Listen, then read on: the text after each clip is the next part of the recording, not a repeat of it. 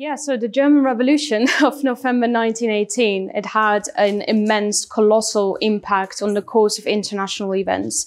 It meant like the end of the First World War. And of course, uh, the Russian working class was looking at it with, you know, with startling inspiration to break their isolation, right, from, from the Russian Revolution. Um, and of course, a successful German revolution can aid them economically, right? And, and of course, spread the socialist revolution further to the West. So mass demonstrations broke out in celebration of hearing this excellent news of, uh, of Germany in, in Russia. And uh, it would have also meant the biggest blow to, to world capitalism since the Russian Revolution itself. So the ruling class was terrified at hearing about this event. They were terrified of, of Bolshevism. And the British Prime Minister Lloyd George, he basically summed up the entire, uh, you know, situation when he said that the whole of Europe was, uh, was filled with the spirit of revolution. Now, Germany was a key country, right? It was at the center of Europe. It was the most industrialized country um, in, in, Europe, you know, opposed to Russia, when, of course, the revolution broke out in Russia. It was a very backward country. Um, and it would have meant, like, a successful revolution would have meant the end of, of capitalism. You know, the whole of Europe would have gone communist.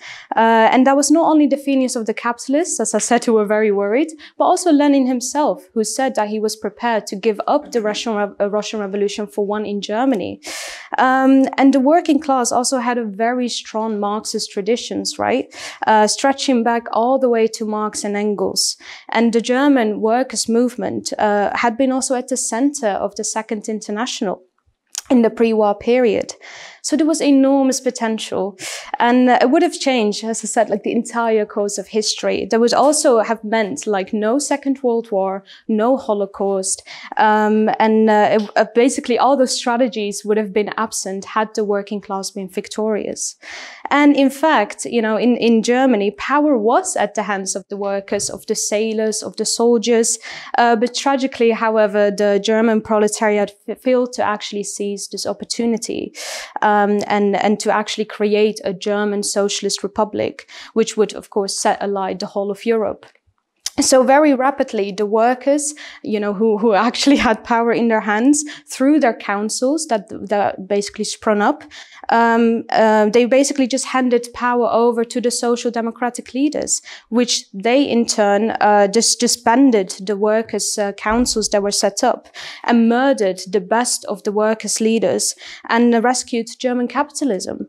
And over the five years of the revolution, um, basically just continued, all sorts of struggles were taking place. But then finally, the defeat of 1923 meant the nail in the coffin for the immediate prospect of, of a world socialist revolution. Um, and of course, also consolidated Stalin's control over the Comintern. So Germany had been the cradle of, of Marxism. Both Marx and Engels spent a great amount of time in educating and building up this, this German uh, labor movement. And the German Social Democratic Party, the SPD, ever since its foundations, basically uh, gave uh, allegiance, you know, to Marxism and was seen as the embodiment of, uh, of German revolutionary tradition. Uh, and it was the biggest party and it was a Marxist party, you know, the biggest party in the world before the war. Um, and with the huge apparatus, as you heard like yesterday, you had big support in the working class that even set up trade unions uh, itself. Um, and had, yeah, a, a, third of the working class vote in, in uh, 1912, which is about 4.2 million people have voted for, for the SPD. They had 90 daily newspapers, so huge apparatus and huge authority within the working class. And in words, they were talking about Marxism. They were talking about Marxist ideas. Um, and therefore, all eyes were on Germany, that if there was going to be, you know, a revolution, then surely in Germany it would be successful. Surely, you know, Germany was the, the country where, where, uh, you know, it would happen. Um, however, what's important to realize is that this party, the SPD, grew up, um, in a period of economic upswing in, in capitalism. There was a boom and it was basically uh, sowing illusions in capitalism that basically through a gradual strengthening of the working classes organizations that also we can then improve the working classes conditions. So basically find a very peaceful, you know, road into, into socialism. Um, and that has caused, you know, the degeneration in particular of the SPD leadership, who were very detached and from, from the actual situation on the ground. Uh, and they limited themselves, therefore, instead of actually fighting for revolution, just limited themselves to fighting for reforms. Um, and, and basically revolution in, in words, but you know their day-to-day deeds were reformist. Um, and of course you know as marxists we're not opposed to fighting for reforms. Obviously we, we do that. But we also also say that how important it is to raise the consciousness right and link our fight for reforms to a fight for socialism link it to a revolutionary program. Uh, and that's exactly what the spd leaders were deserting away from so this resulted in, in very sharp and theoretical debates within the SPD. Now Bernstein was one of those, uh, you know, leaders who was basically on the reformist wing uh, of the party and was coming out with these revisionist ideas. And then opposed to him was Rosa Luxemburg, right, on the left-hand side of the party, and was having these sharp debates against the, you know, the, the degeneration that she was witnessing. And out of this polemic, uh, you know, her famous work, Reform or Revolution, uh, basically brought about. Um, however, Kautsky, who was, you know, the main leader of the SPD, huge authority, and was actually like, you know, trained even by Engels himself, uh, had like real connections with, with Marx and Engels. He himself was more concerned about, you know, keeping unity within the party. He was just turning a blind eye to all of these issues and, uh, and basically just paid lip service, you know, to, to the revolution. Now, what brought this degeneration all out in the open was, uh, was you know, with, in August 1914 when the First World War broke out. And the SPD, uh, SPD leadership, instead of actually explaining, you know, the real cause of, of the war, you know, explaining the imperialist interests are at stake here, they just spoke about defending the fatherland and actually saying that that is an, a, a true, like, internationalist position, trying to, of course, find excuses. But they were social, uh, social chauvinists, right? Um, and in the German par parliament, the Reichstag, they all voted in favor for the war credit. It's only Karl Liebknecht, who was also on the left with, with Rosa Luxemburg, who voted against the war credits. So it's one person against 110 who voted again, uh, you know, for the, for the war. Um, and he was basically now turned into, you know, this, this anti-war hero, this true revolutionary uh, internationalist and had huge, you know, uh, a good basically representation like in, in internationally, not just in Germany. Um, but it was not only in Germany, um, well, sorry, but but it was also like in practice, right? What this actually meant, this vote, was that these so-called Marxists of the SPD basically voted in favor for sending millions of workers to go out and, and kill each other, which also proves right, you know, that Rosa Luxemburg was right to call out on this opportunism of the SPD but also that Bernstein's theory of a, like a peaceful road to socialism was proven immediately false and incorrect. Workers' rights was taken away like that overnight. And this whole, uh, you know, question that was posed by Rosa Luxemburg, either we fight for socialism or we end up in barbarism is exactly what, you know, what was proven correct and what they were faced with. And this betrayal of the German SPD you know, as, as we said yesterday, dealt a crushing blow to the international. It was such a huge, you know, surprise, even as we said to Lenin, who, you know, the authority of the SPD leadership was so high that he, yeah, thought that it was a forgery by the German general staff. He couldn't believe this, this newspaper forwards of the, of the SPD, uh, and thought that, yeah, it was just false. But internationally, therefore, um, the only true, like, Marxists and internationalists were reduced to only a handful handful of people who actually stood, you know, firmly for the principles of Marxism. And so it was only Lenin, Luxemburg, uh, um, Liebknecht, Connolly, and John Maclean. And of course, you had the, you know, the Serbian party, for example, who also voted against the war credit. And so at the, at the Congress in Zimmerwald, Lenin kind of joked that all of the internationalists could fit in only two stage coaches by then. So that was the, that was the stage, you know, of the second international. And Rosa Luxemburg actually described it as a stinking corpse. It was just dead, basically. And it meant, it meant the end of, of the second international. It completely collapsed. But out of this, Luxemburg and Mehring and Liebknecht, they, they, you know, a tendency was formed around them after this betrayal, right? And uh, it became known as the Internationale group. Um, and it was basically this nucleus around which later on the, the, the Communist Party was to crystallize. Um, but on New Year's Day in, uh, in 1916, thank you, uh, at Rosa Luxemburg's instance, they took the decision to launch a journal called the Spartacus, you know, and so the, the Spartacus League was basically formed. Now, by 1917, the war of weariness, of course, engulfed the masses of of, uh, of the workers in you know everywhere, but also, of course, in Germany. Um, and the soldiers at the front were, of course, also sickened by the war. So mass strikes broke out against the war and real ferment was growing, not just amongst the working class, but also within the party itself, within the SPD. Um, and, and this ferment was reflected within the party when a split was taking place. You know, you had, of course, the, yeah, the, the right wing, I guess, that stayed, you know, with the SPD and a more left wing, uh, you know, split was, was, uh, taking place that was called the independence, the U, the USPD, uh, which took about 120,000 members of the SPD with them. So it was basically quite quite a significant split. But this also makes in a very important political point because the fact is that Rosa Luxemburg and Karl Liebknecht, up until the war broke out, never actually built a really well organized, you know, political homogenous faction within the SPD. Um, and to train up those cadres, right? Basically how Lenin and the Bolsheviks had done uh, within the, um, uh, what's it called, the, the RSDLP, so the Russian Social Democratic Labour Party. Because if they did, right, if they had like strong cadres uh, in the party within the SPD sooner, rather than this loose network that then existed, then obviously by the time that the war broke out, they could have led this split, right? They could have taken these people with them and actually provided, you know, a, a revolutionary alternative for them to join. Um, and they, yeah, created basically a revolutionary organization that would arise out of this anger, right? And uh, arise out of this great betrayal. And they could have answered this. They could have provided that leadership and not let these reformists basically lead the split in the USPD. Um, but it was simply too late. Uh, like the building such a cadre organization cannot be done spontaneously, as we know. Um, and therefore they lost a great opportunity to, to win over the masses, basically.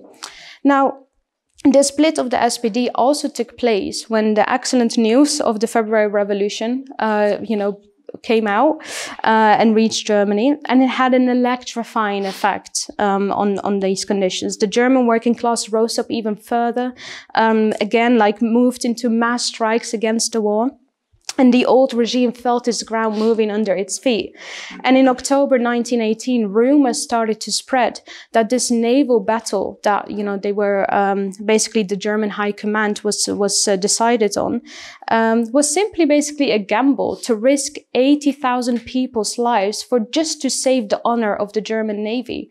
Now that was like the, the spark, basically, that was the straw and sparked resistance, um, that began the revolution itself. And so on November the 3rd, a mutiny took place in one ship in Kiel and spread all over the North Sea with 100,000 sailors taking uh, part in this mutiny. And it was also unprecedented because one town after another, you know, like workers started setting up workers' councils in solidarity with, with the sailors. Even, the, of course, the mood was also within the army. So the army set up their own councils as well. So it was, uh, it was enormous, like it spread like wildfire, basically. And uh, it was basically, you know, those councils are, you know, essentially the same as the Soviets that we've seen in Russia from 1905 and again in 1917. So they were organs of power. And war is often, you know, rightly said, like war is often the midwife of, of revolution. And that was the case in Russia, and it was also the case here in Germany. And uh, the chancellor uh, is Prince von Baden. he basically realized that the game was up. he, he just saw no other way than to ask for the Kaiser to abdicate. He's like, we have to give the masses something here. Uh, and of course, the Kaiser didn't want to abdicate. Uh, on the contrary, his advice was to, you know, he said, well, take your most loyal troops, go out with bombs and fire throwers and just crush this revolution, just bring it down. Um, but the answer to, to the Kaiser was, sire, you have no army. It's all, it's all gone. and and he stubbornly refused to believe this. He was like, no, no, you have to put it down. You have to, he, he just was so out of touch, like actually the Tsar in 1917, so out of touch with what's happening on the ground. Um, and so it was this quite like this funny episode where he learned about his abdication from the chancellor himself. So he heard it secondhand and uh, and he basically had just took the train the next day to the Netherlands and stayed the rest of his life there uh, in exile, and the whole monarchy just uh, disintegrated. So, with no army and no police and the masses on the move, the ruling class, you know, the final sort of option that they had was to look towards the workers' leaders themselves and uh, to basically diffuse the situation, to save them. And in other words, they looked at this new breed of careerists that floated to the top within the SPD. Uh, and these big leaders were Ebert, Noske, and Scheidemann. Now, these leaders did not want a revolution. Um, they were very much opposed to the revolution. So they were asked basically to come into this government uh, to, you know, stop this revolutionary wave of what was happening. And uh, in fact, you know, Ebert very famously said his famous quote was, I hate revolution like sin.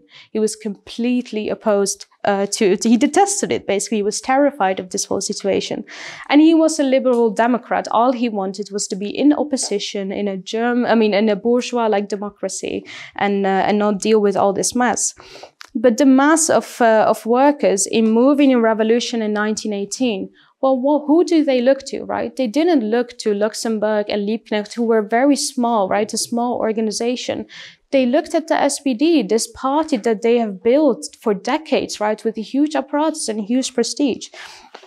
So um, it was very like you know normal that you know all of the you know direction was basically in in their hands.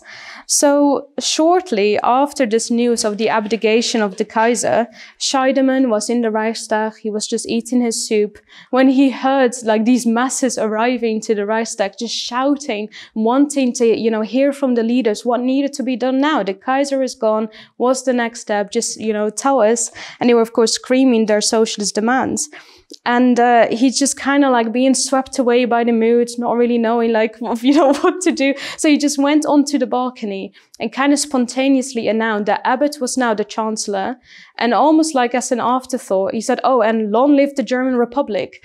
Now this was this was a huge, you know, blow because as soon as Ebert heard this news, who is by the way just a support a supportive like you know very much in favor of the monarchy, but uh, basically, he was absolutely enraged and his face turned livid. He banged with his fist on the table.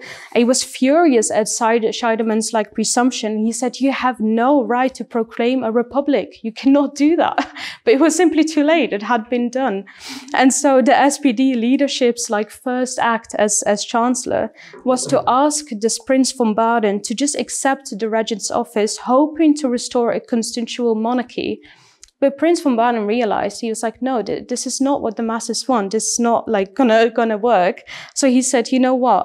We we basically I will give up my power. I will give up this government uh, and handed it over on the 9th of November to Ebert, Noske, and Scheidemann to the to the SPD, and said, well, you should take it. You take the reins of the government and you smash this revolution. You bring it down and uh, and so basically they did. And that's and this is again a very important point because it's often the case that the role of of like the the reformist leaders of workers organizations is to hold the masses back right? They they are always the last line of defense uh, for the capitalists to to you know to rely on to to hold the masses back send them home and say this is how we do it in a civilized way. You can have what you want. Just go home basically so you have the situation here, right? Where the working class had power in their hands, you know, through the councils that they set up everywhere. Uh, and therefore the, you also had, you know, uh, the, the army coming from war so they were armed and you had these armed massive demonstrations uh, taking place all over the cities even in berlin and the old government was suspended in midair but of course, again, who do, who do they then rely on? Is, is those leaders, is those SPD leaders. Uh, so the, the working class had power in its hand, but was simply not conscious of that fact. They, did, they didn't realize this. And now this in itself is a very normal stage, right, of, of consciousness and how it develops.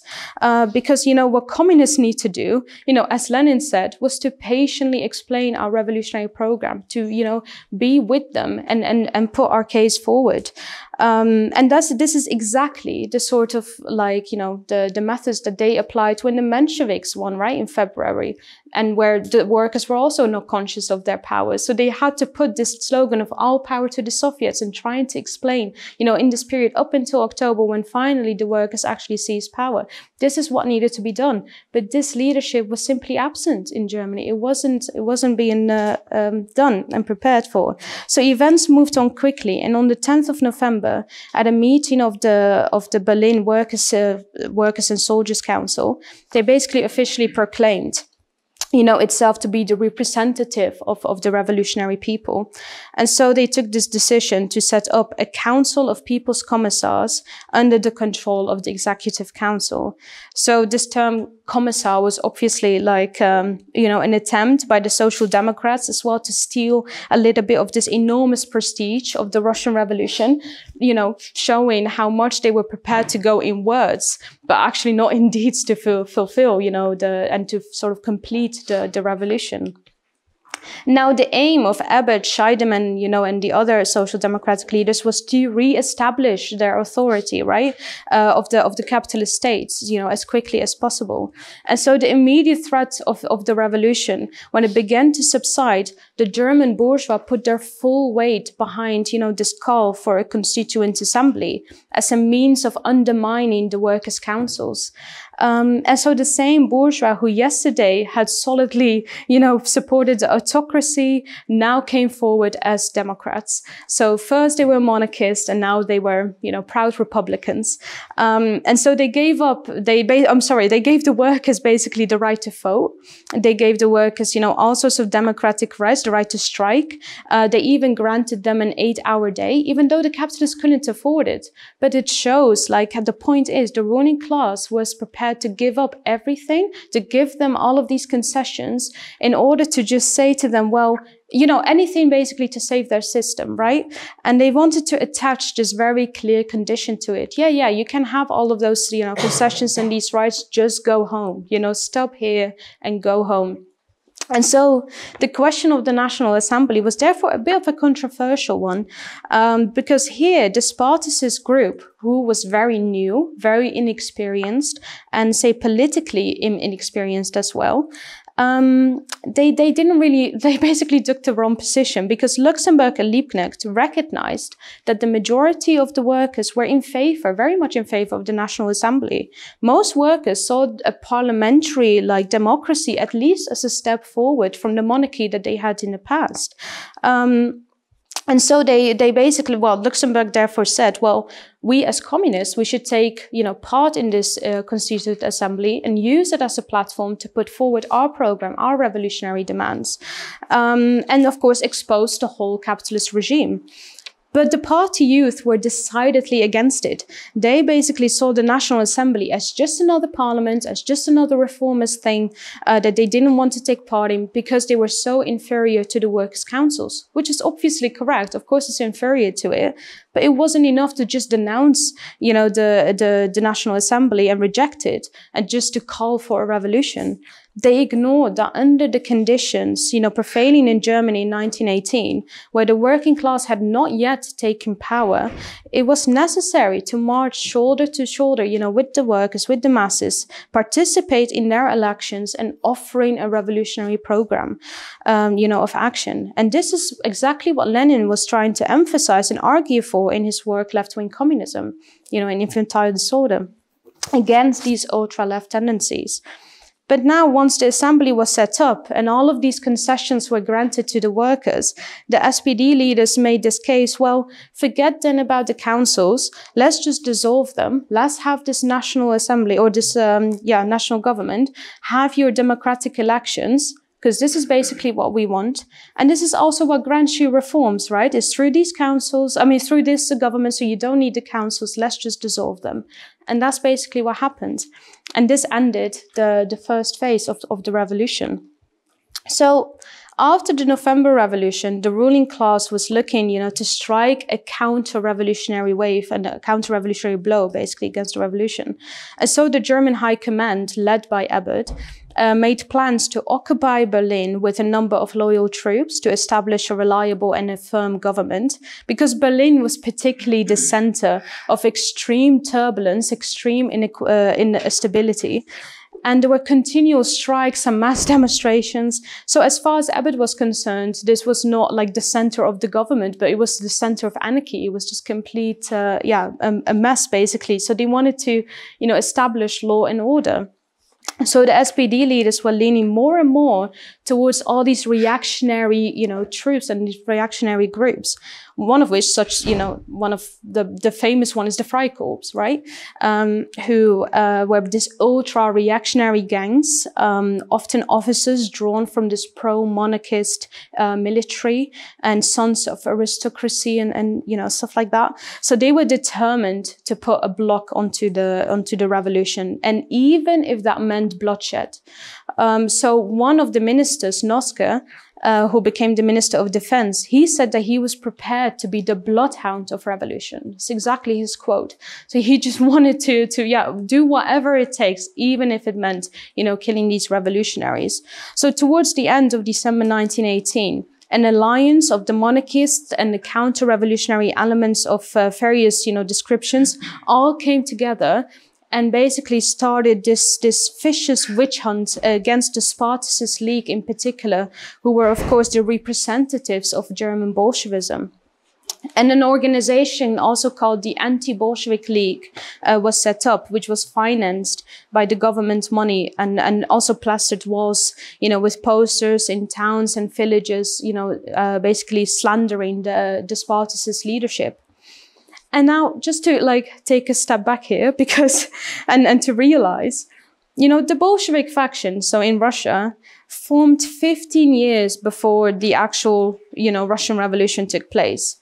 But in Germany, you had the first phase of the revolution, which was over. The counter-revolution was trying to, you know, raise its head now. And it's only now that the Communist Party was, was set up and, and formed as an actual tight organization. So in late December 1918, under the influence of the October Revolution in Russia, pressure mounted within the, the Spartacist League to transform itself from this very like loose-knit organization to an actually tight, you know, centralized organization.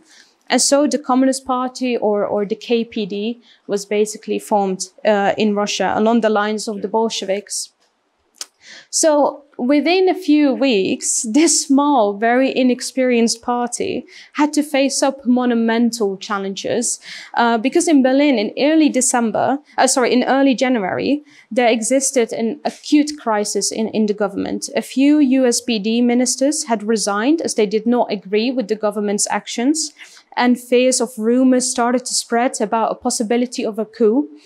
Um, and at the same time, a campaign of denigration was carried out against uh, Emil Eichhorn, who was a left-wing policeman uh, or police president, I would say, of, of Berlin, because he was regarded as a threat because uh, he organized a new left-wing police force of 2,000 uh, armed workers who were basically, you know, ready to defend the revolution.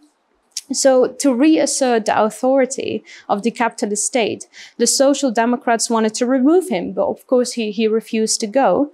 And this kind of, you know, started to spark this, uh, this, uh, this mass protest that was coming up. And it was called for by uh, the Berlin Executive Committee on the 5th of January in order to defend, you know, the gains of the revolution.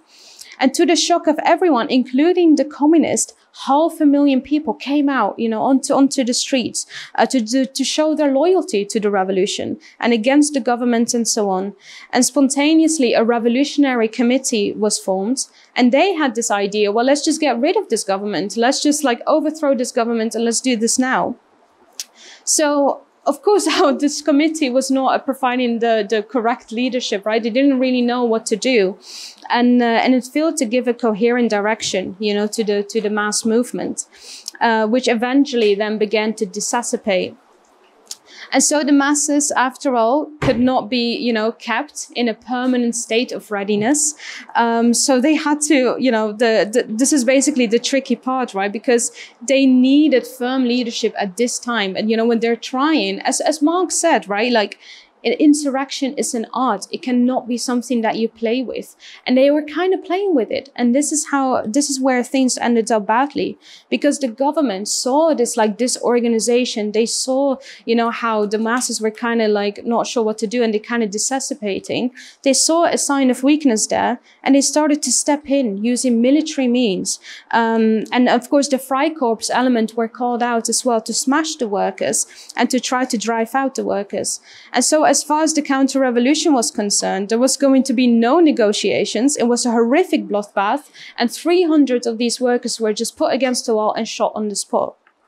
And this uh, basically marked, you know, the the end of the oh yeah of the Spartacist uprising. But it's clear that this so-called Spartacist uprising or Spartacist rebellion wasn't like a conscious strategy pursued by the Spartacists. This event started by the government provocation and intended as a pretext to crush the movement.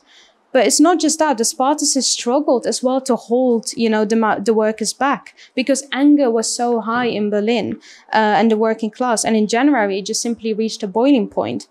But this makes an important point, right? Because again, the Communist Party was too small. It was too inexperienced. It didn't have, you know, cadres.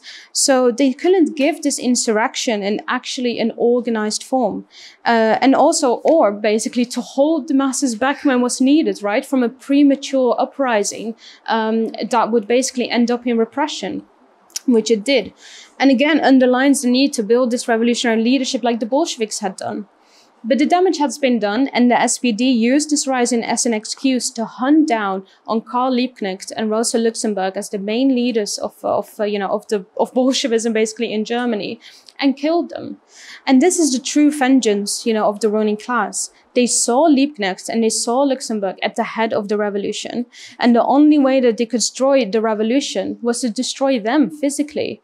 Um, and, and that's why they, uh, that's basically what they did. And that was the greatest strategy, you know, that befell the German Revolution because these were the leaders. They had the authority. They could have led this communist party you know in the right direction. Because rosa luxemburg you know just before basically she was killed she was realizing more and more the need to have a centralized you know organization and a cadre built organization um, but again because there was no such you know cadre base um, an organization at the time when rosa luxemburg was killed it also meant that no one was ready to step up you know and play this role there was a lack it was a real lack lack of, of leadership.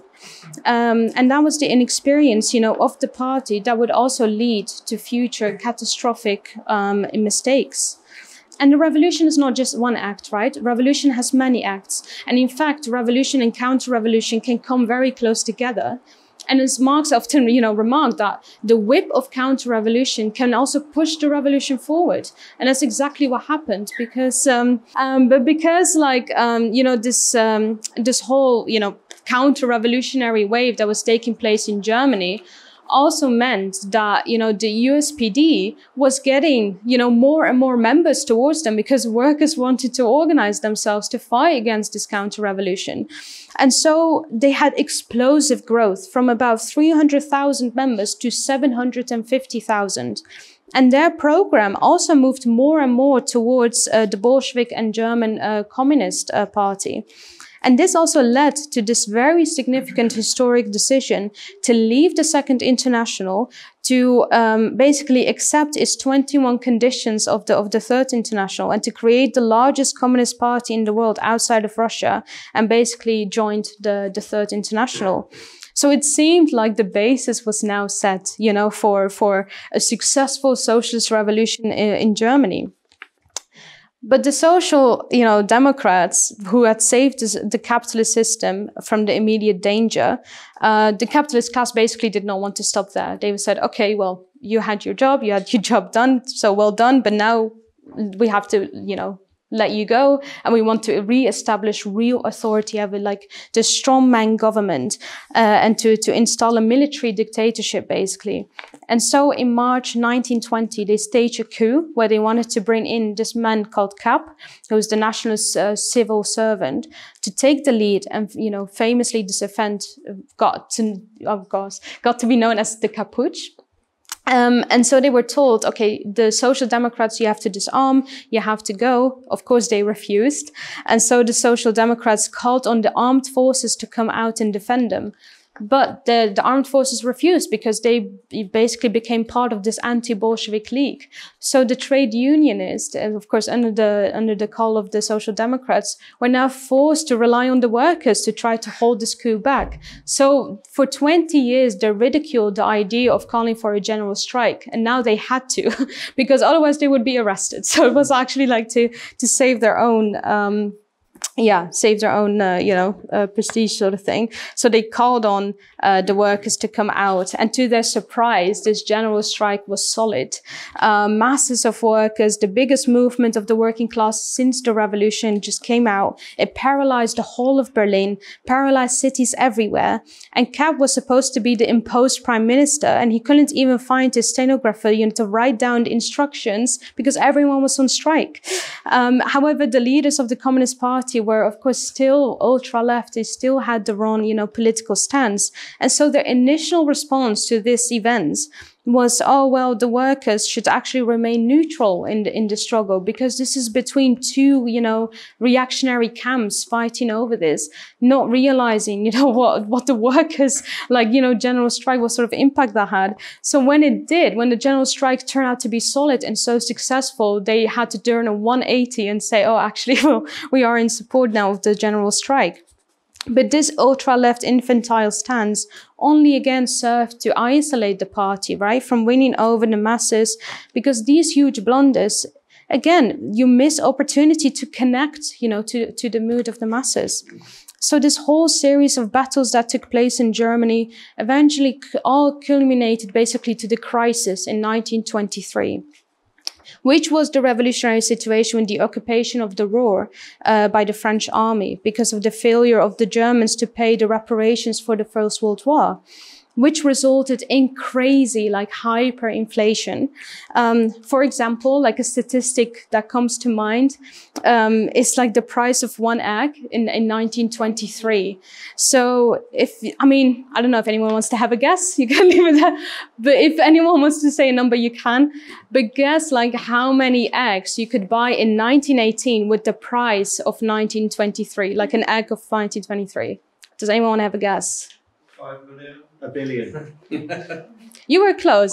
It's, it's 500 million. 500 million eggs you could buy in 1918 for the price yeah, of 1923. So this is the crazy hyperinflation that we're talking about. Money was completely devalued.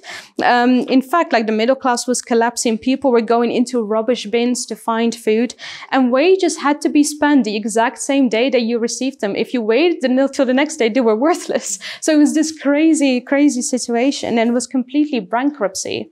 And that sparked, of course, a spontaneous movement. Uh, but this time, unlike the Spartacists, which were only like a handful of people in Berlin, you had now this mass communist party, right? You know, from the, from the USPD who, who joined the Third International. So you had, uh, had huge potential. But again, what was, again, you know, under the wrong leadership, the Communist Party basically was too hesitant, thinking that this was not actually a revolution that, you know, taking place. So again, they dismissed the opportunity they had at hand.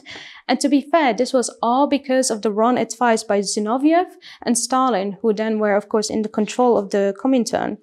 And they told them to go easy and in fact not to provoke the situation and let the fascists move first. So all they do was, you know, defend themselves and have a, you know, the right to defend themselves sort of thing was of course completely the wrong advice.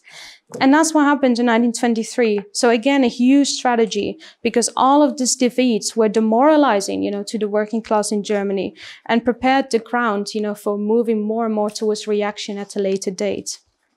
So what this whole experience shows in Germany from, you know, 1918 all the way till 1923 is that like all of these like you know young and you know communist party that was not prepared for you know the tasks at hand were very inexperienced trying to learn in the middle of a revolution making mistakes making ultra left mistakes with you know the Kapp-Putsch and, and stuff but then also in the other direction being too cautious in 1923 but whilst in 1919, the Communist International, under the leadership of Lenin and Trotsky, were patiently assisting the young parties, right, trying to draw the political conclusions and absorb the lessons of Bolshevism.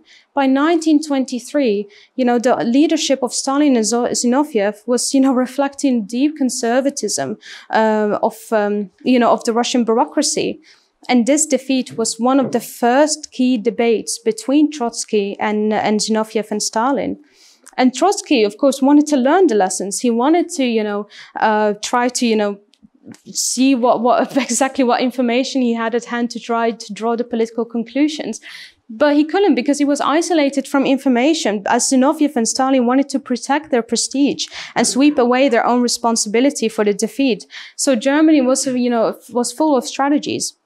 But what it all boils down to, what the whole point is, is the lack of leadership, right? Which is the key ingredient for a success of a revolution. And it's our task and it's part of our heritage. And we have the responsibility to learn and to understand what happened in Germany to prepare ourselves, right? For what's the events that are coming in Britain, in Europe, and in the rest of the world in this upcoming period because more and more and more people are clearly looking towards joining us now as communists, right?